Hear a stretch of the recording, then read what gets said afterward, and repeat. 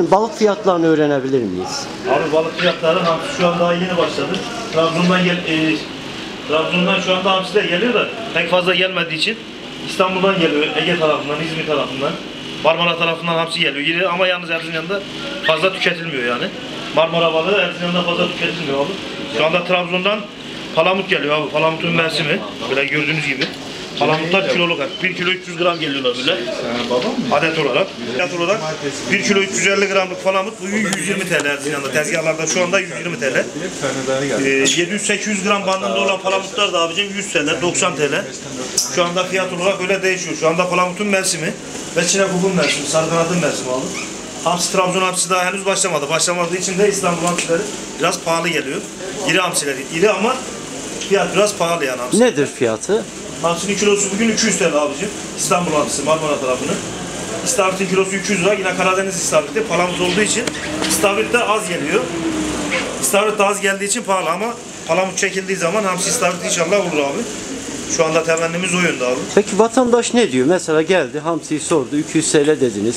Abi Erzincan halkı şu anda e, Karadeniz hamsisini zaten biliyor. E, bu hamsiyi genel olarak tüketmiyor Erzincan'ın kendi yerli halkımız tüketmiyor ama palamutu etli bir balık. Palamutu bayağı bir tüketimi bu sene balık kültürü biraz da Erzincan'da yoğunlaştı. Gitgide yoğunlaşıyordu abi. Öğreniliyor gitgide deniz olmadığı için kültür biraz zayıf.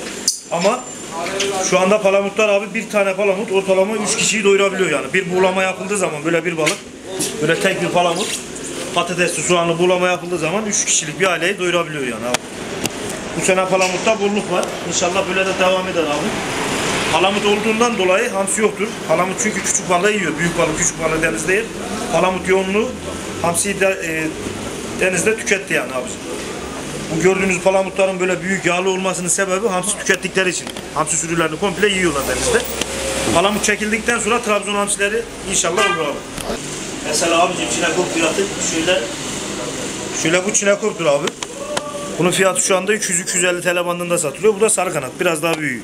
Aynı balıktır. Büyüdükçe fiyat değişir. Bunda 350, kilo- 350, 300, 200, 250 fiyat olarak kilo. Bunlar şu anda mevsim bu balıkların abi. Peki vatandaş e, balıkların genellikle hani nasıl taze olduğunu e, nasıl anlayabilir? Abi balığın tazeliğini ya balığı tanıması lazım ya da balıkçıyı. Bu ikisinden birini kesin yani bilmesi lazım. Balıkçıyı iyi tanırsan taze balık yersin. Ya da balığı iyi tanıman lazım. Balığı da zaten biz zaten sergiliyoruz abi. 15 senedir 20 senedir Erzincan'da tezgahta balık satıyoruz. Bu balığın solungacıdır zaten. Tazeliğini gösteriyor. Böyle kan kırmızı ise eğer. Bunu müşterinin yanında da açıyoruz. Taze hangisindeyse açar gösteririz. Böyle balığın zaten renginden duruşundan belli olur abi tazeliği. Denizin mavisi henüz daha bunların üzerinde abi daha mavilikleri. Bu şekilde Evet. tazeliğini anlayabilecek Evet abi. vatandaşlar. Yine somon var. Yine Karadeniz somonu var abi. Levrek var. Trabzon'dan gelen levrek var.